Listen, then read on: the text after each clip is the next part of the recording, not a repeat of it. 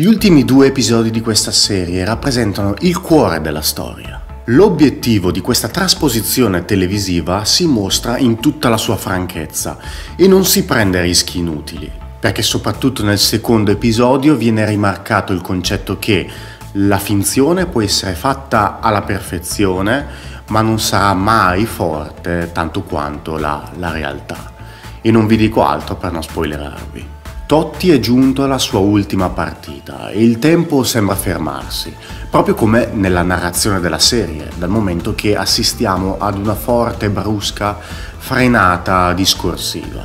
Nonostante abbiamo assistito ad una serie breve di solo sei episodi, abbiamo l'impressione di aver vissuto con Totti tutta la sua carriera. E come lui dobbiamo prepararci al finale, dobbiamo essere pronti ad affrontare il punto di non ritorno.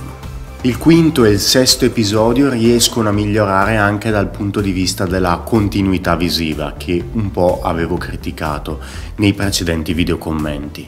La commistione tra il girato per la serie e il materiale di repertorio è ottima e non si percepiscono degli sbalzi.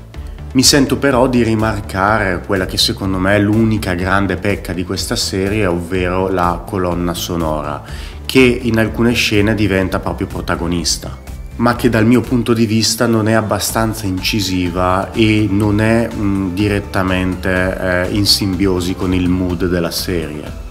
Mi ha fatto molto piacere seguire questa serie e spero che in futuro facciano altri prodotti di questo tipo legati al calcio che è una delle mie grandi passioni e infatti sto aspettando un film Netflix che uscirà quest'anno dedicato al Divin Codino, ovvero Roberto Baggio che personalmente e a tutti i bresciani all'ascolto sicuramente ha dato qualcosa di straordinario ad una città, ad una squadra, ad una passione calcistica come la nostra.